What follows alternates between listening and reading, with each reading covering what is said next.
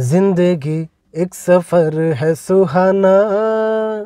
Tyre puncture कब हो, किसने जाना? क्या आपको पता है कि आपकी गाड़ी का टायर कब पंचर होगा? मुझे नहीं पता। लेकिन इतना ज़रूर पता है कि पंचर हो जाए तो क्या करना है? मैं यूज़ करूँगा ये। ये है बर्जबैंड टाइफोन डिजिटल टायर इन्फ्लेटर। अब आप कहेंगे कि टायर पंचर तो बनाना ही पड़ेगा। हाँ बिल्कुल बनाना पड़ेगा। लेकिन तब आप क्या करेंगे जब आपके नज़दीक में कहीं टायर पंचर दुकान हो ही ना? नियरेस्ट टायर पंचर दुकान 100 किलोमीटर या 50 किलोमीटर दूर हो, तब आप क्या करेंगे?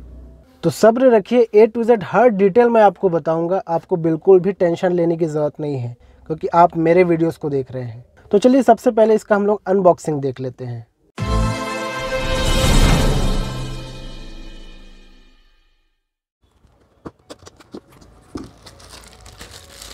कुछ डॉक्यूमेंटेशन साथ में यहाँ पे दो तीन नोज़ल आपको एक्स्ट्रा मिल जाता है।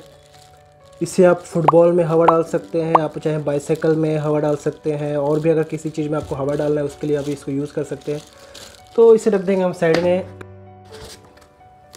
नेक्स्ट एक फोम और क्या क्या मिलता है भाई? एक आपको एक पाउच मिल जाएगा। ये अच्छी बात है भाई। रखने के लिए एक बहुत अच्छा से एक पाउच आपको यहाँ पे दे दिया गया है। इसे भी हम रख देंगे साइड में। और ये है हमारा फाइनल कंटेंट हम्म काफ़ी हैवी है।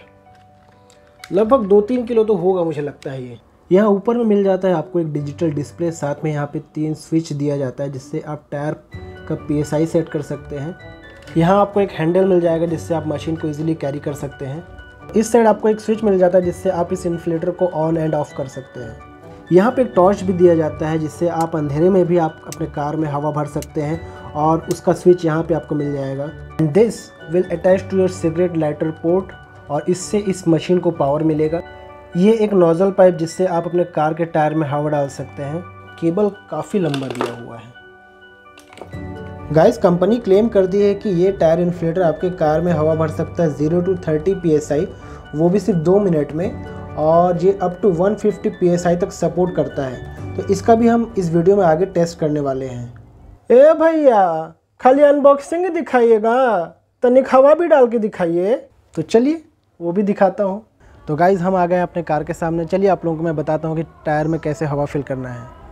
तो गाइज़ आप देख सकते हैं ये मेरे कार का सिगरेट लाइटर पोर्ट है। तो इस कनेक्टर को मैं यहाँ पे प्लग इन कर दूँगा। एक चीज़ का आप बहुत ध्यान दीजिएगा कि कभी भी अगर आप अपने कार में हवा फिल कर रहे हैं तो उस टाइम में कार का इंजन आप ज़रूर से ऑन कर लीजिएगा।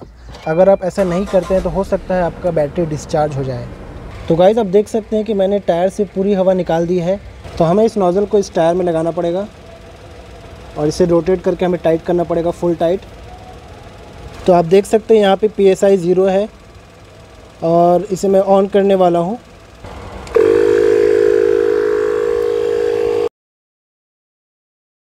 तो टायर में 30 पी हवा फिल करने में मुझे लगभग लग गया साढ़े चार मिनट। और ये 16 इंच का टायर है, हो सकता है इस वजह से इसमें टाइम थोड़ा ज़्यादा लगा हो। और अगर आपका कोई छोटा टायर है तो उसमें टाइम कम भी लग सकता है। But I am not sure about that दोस्तों, अब आते हैं वीडियो के सबसे इंपॉर्टेंट पार्ट में। इस वीडियो को पूरा देखिएगा लास्ट तक देखिएगा, बिल्कुल भी स्किप मत करिएगा, क्योंकि सबसे इंपॉर्टेंट पार्ट यही है। पॉइंट नंबर वन दोस्तों, एक फोर व्हीलर कार में टायर इन्फ्लिटर का क्या काम? आप सोच रहे होंगे हम ट्वेंटी थर्टी रुपीज़ में बाहर कोई भी टायर शॉप में हवा डलवा सकते हैं।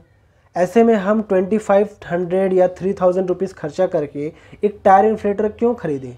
तो दोस्तों, मान लेते हैं कि आप एक टूर पे निकले हुए हैं और आपने 200 300 किलोमीटर्स ट्रेवल कर चुका है और आप किसी घाटी या किसी जंगल के रास्ते आगे बढ़ रहे हैं और आपको पता चलता है कि आपका जो टायर है वो पंचर हो चुका है।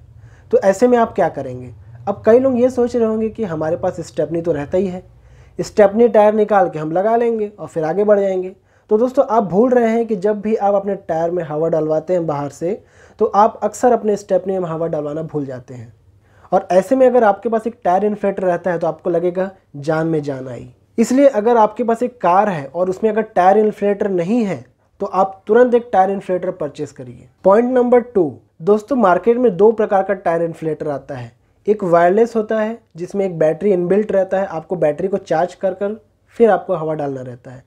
और दूसरा, जिसमें आपको वायर दिया रहता है, जिसे आपको सिगरेट पोर्ट में लगाना रहता है अपने कार के, और फिर आपको टायर में हवा डालने रहता है।